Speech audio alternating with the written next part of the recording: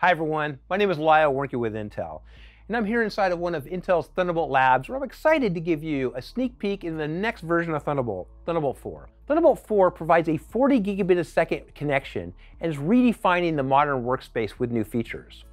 And starting with Tiger Lake, Thunderbolt 4 will be integrated into Intel's next generation of mobile processors.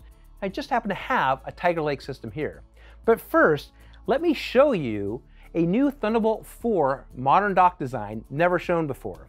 This compact dock is a game changer for simplicity and performance. A single 40 gigabit a second connection to my PC, USB port for wireless mouse and keyboard, and for the first time, three Thunderbolt 4 downstream ports offering amazing flexibility for connecting your favorite accessories with a new multi-port architecture. And want more ports? Well, I just happen to have a full-size modern dock with more traditional ports with that same sleek design and that same multi-port architecture. So let's see what a modern PC workspace looks like with Thunderbolt 4. Notice the small physical footprint with less cable clutter. And also, no laptop charger is needed because Thunderbolt 4 requires thin laptops to support charging from the Thunderbolt dock. Here I have my wireless keyboard and mouse, and Thunderbolt 4 supporting System Wake to bring my laptop out of sleep mode.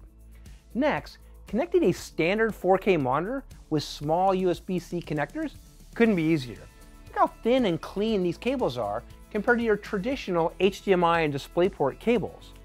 And with the new multi-port architecture, along with Thunderbolt 4 scalable performance, I can easily add a second 4K monitor in this case, a Thunderbolt 4K HDR monitor connected with the first ever 2 meter Thunderbolt 4 universal cable. And I know my connection is going to be reliable because Thunderbolt products have to be certified. Give me the confidence I need when purchasing new devices. But wait, I have one more Thunderbolt 4 downstream port to use for another device. So here I have a Thunderbolt SSD with read speeds that hit up to 3000 megabytes a second. And check this out. I can transfer about an hour's worth of video in about 10 seconds, all while being connected to two 4K monitors all over a single cable.